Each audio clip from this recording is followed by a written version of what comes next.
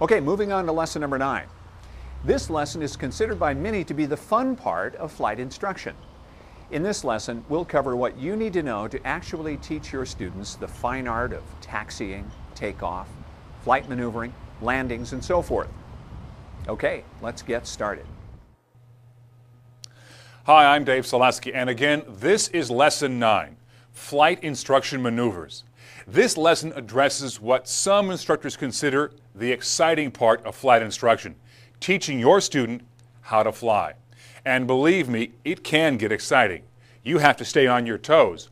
Also, as a flight instructor, you have to let your student actually take the controls and fly the airplane. And it's your responsibility to recover from any student induced unusual flight situations and do so safely.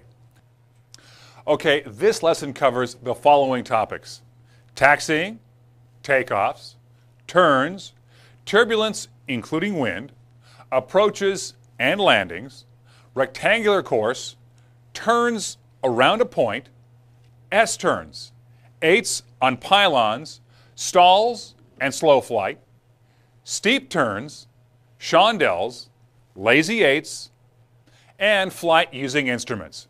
As you can see, this is all the standard stuff you've learned so far during your flying career. Only now you have to teach it. Okay, let's begin with taxiing. When taxiing a tricycle gear airplane with a strong quartering tailwind, make sure you keep the elevator in the neutral position and the upwind aileron in the down position. Now, for that same tricycle gear airplane with a strong quartering headwind, here's what you do. Keep the elevator down and keep this upwind or into the wind aileron now in the up position. Suppose you're flying a tailwheel type or tail dragger airplane. When experiencing a strong quartering tailwind, the elevator should be held in the down position. This keeps the tail down and keep it from lifting up off the ground. And the aileron from the side in which the wind is blowing should be held in the down position.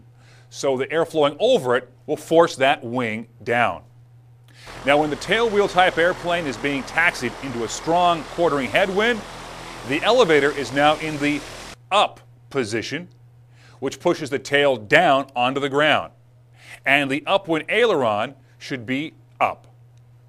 Before starting the pre takeoff check, the airplane should be positioned out of the way of other aircraft.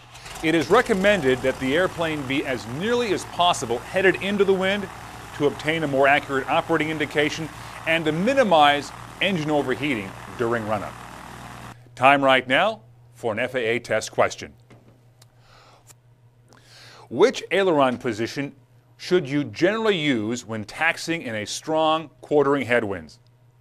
A, neutral, B, aileron up on the side from which the wind is blowing, or C, aileron down on the side from which the wind is blowing?